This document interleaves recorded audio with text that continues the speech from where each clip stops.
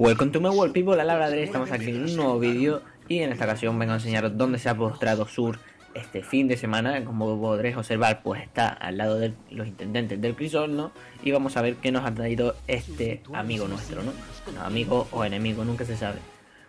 Bueno, en primer lugar tenemos los no hay planes auxiliares, aunque como siempre he dicho a 280 las cosas de Sur no valen la pena. Luego tenemos los no me toques, pero eso sí, siempre vienen bien si no los hemos conseguido nunca pues tenerlas y ya pues las vamos subiendo infundiéndolas, ¿no? Además si las cualidades son muy buenas, pues sí merecen la pena, ¿no?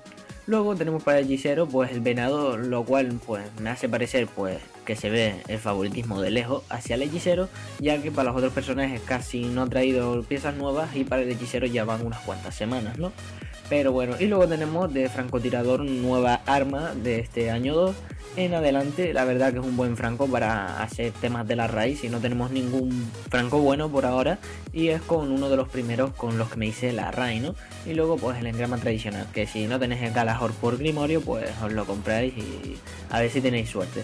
Y luego, como nueva novedad, tenemos las agujas de vidrio. que ¿Qué son estos? Pues muy sencillo. Vamos a nuestras armaduras exóticas y pues nos sale aquí reforjar y que necesitamos agujas de vidrio. ¿Qué se nos cambiaría? Pues estas cualidades de aquí, la bonificación de energía de super causar bajas de discípulo y también pues el tema de eh, gana una bonificación de energía cuerpo a cuerpo al recoger los orbes, ¿no? Por ejemplo, tenemos aquí un claro ejemplo con los pechos de Alfalupi que me aumenta la cantidad de munición de los exploradores y dentro entramos y nos pone también con escopeta y luego con otro Alfalupi pues tenemos exploradores y pistolas y que nos aumenta la armadura cuando se usa la clase solar y luego si venimos pues aquí este nos aumenta la armadura cuando utilizamos la subclase de vacío no o cambiarnos las cualidades la verdad es que nos vendría bastante bien por el tema de si no usamos por ejemplo la clase de arco, la clase eléctrica en el cazador muy a menudo para PvE, por ejemplo, para dar raid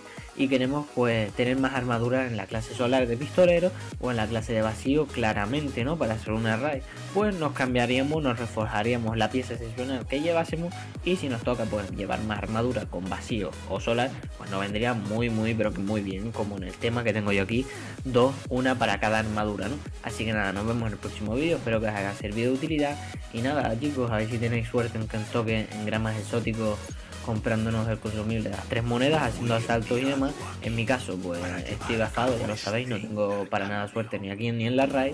Y tengo que estar infundiendo pues piezas de armaduras de otros personajes como el hechicero y el titán, pues si quiero pues, por lo menos alcanzar el nivel 309 de luz para la raid difícil, Así que nada, nos vemos en el próximo vídeo y tres monedas que nos cuestan y tres motas de luz, pues comprar las agujas de vidrio. vaya, vaya, vaya locura. Menos mal que no dan tres, ¿no? Así que nada, ya nos vemos en el próximo vídeo y hasta la próxima. Un saludo.